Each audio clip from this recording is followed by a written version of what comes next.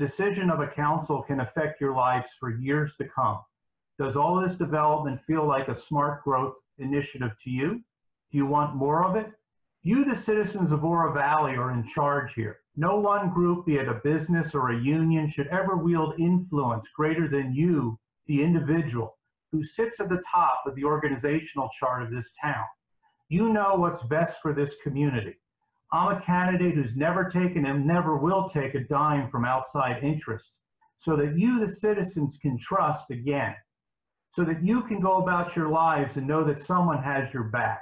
I'm going to put you first as a resident because I promise together we can write our path in this next election.